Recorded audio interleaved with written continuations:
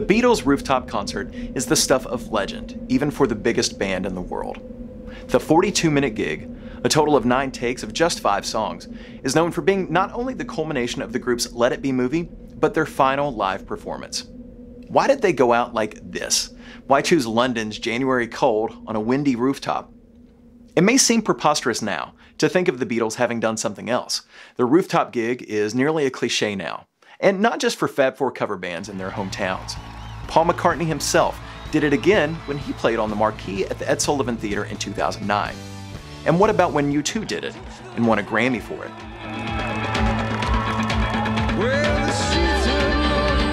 But for the Beatles, hanging out on the roof wasn't the original plan. In fact, it was practically a last minute situation, with the decision being made, logistics and all, only a few days beforehand. In this two part video, we're exploring the live performance that almost didn't happen, and why the Beatles chose, of all places in the world, the rooftop of their office building in London for their last show. As seen in the Let It Be movie, ends during the final days of January 1969. But to understand how the Beatles ended up on the roof, we've got to go back a few months. The Beatles launched their label, Apple Records, in the middle of 1968. In June of that year, they purchased the building at 3 Savile Row in the heart of London to house the label's various divisions. Little did anyone know they'd be on its rooftop just seven months later. Starting before the White Album even hit the shelves in November, George Harrison and Paul McCartney publicly discussed a return to the stage. The group hadn't toured since 1966 and only had a handful of public appearances since then. Talk of a return to performing live was big news, and details came quickly. On October 19th, Melody Maker confirmed a live Beatles show would happen before Christmas. Press officer Derek Taylor said it could be at venues in London, like the sound stages at Twickenham Studios, or traditional venues like the Royal Albert Hall, or the Roundhouse. A follow up report expanded this to three shows in mid December, where Taylor said the band would be playing White Album tracks and anything else they wanted to play. There was even talk of a color TV special featuring highlights from these shows.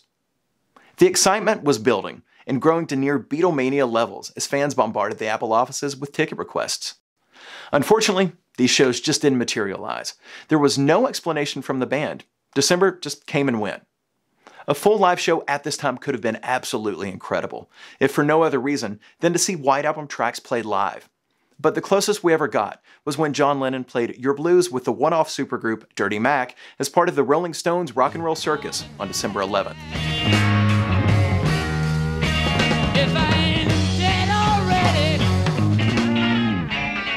Girl, you know it's still unclear what happened to those live shows. We can speculate any number of reasons with 50 years of hindsight. But what is clear is the Beatles were ready for something different than just heading back into the studio. No surprise here. Recall the break that they took before recording Sgt. Pepper, and the trip to India before the White Album. Around the same time that director Michael Lindsay Hogg was working on the Rock and Roll Circus, he visited the band's offices to discuss their future plans. Lindsay Hogg had worked with them multiple times before, most recently on the Hey Jude and Revolution promo films.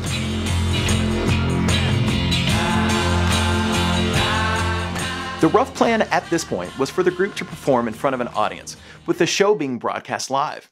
But more than that, the band agreed to let cameras in the room to document rehearsals for the performance. Lindsay Hogg would direct, and Dennis O'Dell, who led Apple's film division, would produce. it was O'Dell who suggested the wide open spaces at Twickenham Studios for these rehearsal sessions.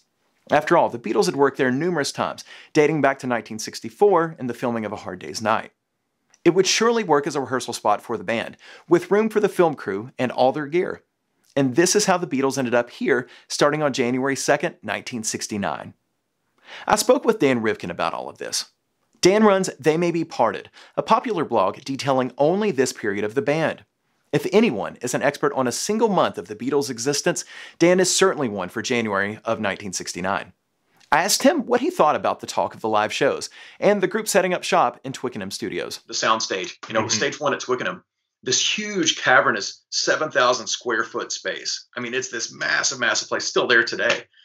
What made that seem more appealing than just getting up and playing three shows? I think the factors I could think of would be in part they just came out with a White Album with 30 songs. They they could certainly go on and promote that album in that way. Um, I think they like the idea of doing something a little special to it. If they're going to come back, put a twist to it. Have it then be coming back with a whole new set of songs. And you know, again, they would have been playing three weeks after the White Album came out. All those songs are still new. Yeah. Um, I, I feel like that could play into it. Um, I don't. Part of me wants to be a skeptic and say, sure, they reserved that space. Beatles never had any intention on doing that. Paul McCartney spent a big chunk of December on vacation in Portugal. So, you know, maybe they were never going to play those shows, but they, you know, they saved it just in case. I wonder whether it's one of those things that was not to call it a red herring, but you know what? The people who were involved in booking will book the Roundhouse. You never know. Maybe we'll convince them, but let's get the place first. Then we'll try and twist their arms. Under these new circumstances, and more that would unfold in the coming weeks, the Beatles put themselves under tremendous pressure. Writing and recording an album's worth of songs, with cameras in their faces, then taking the stage in a way they hadn't done in years. And all this with the location and date to be determined, except for a one month hard deadline. Their plan was ambitious, to say the least. Hello, hello, I'm Lance, and this is the first part of the story. If you're watching in January 2019, the second part is coming soon. That's where we'll dive into all the live performance possibilities discussed by the band during these Get Back sessions. And we'll also discover how they ended up on the roof of 3 Savile Row. In addition, I'll have more from my discussion with Dan Rivkin. If you're into Deep Beatles, please check out the other videos on this channel and subscribe. And if you're already a subscriber, thank you so much. If you'd like to support the Fab 4 Archivist channel further, please check it out on Patreon. All right, that's it for this one. Part two is on the way.